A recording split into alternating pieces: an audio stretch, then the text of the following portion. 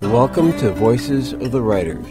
I'm your host, Adam Scull, bringing you a new dimension of poetry readings, songwriters, vignettes, and stories with music and sounds for the Eat Sleep Write podcast. Discover new writers, learn about their huge body of work on Eat Sleep Write.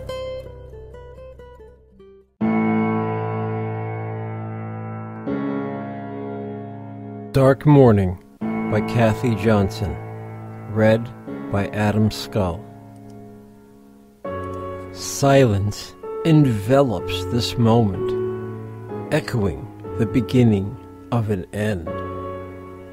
Intense and unmasked looms to the surface. Passion unleashed, forcing equal pay flows in and out of my mind. Indistinguishable runs too quickly. Tensed muscles, clenched teeth, a mountain silhouetted in red fire, plunging to the canyon shadows, catches ridges, sharp edges, stone breaks.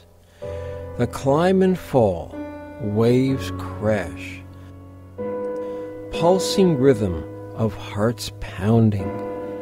Laughter flows down the cliff's face, indistinguishable, out of control.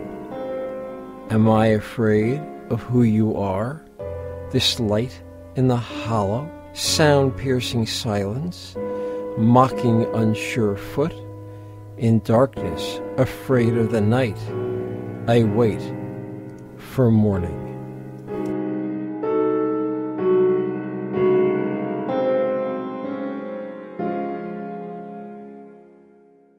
Thank you for joining us for another edition of Voices of the Writers, located at eatsleepwrite.net. Bringing you a new dimension of poetry, songwriters, vignettes and stories with music and sounds, for Eat Sleep Write.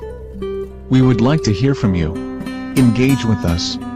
Send your comments and questions to comments at eatsleepwrite.net, or leave a comment at the end of the podcast page.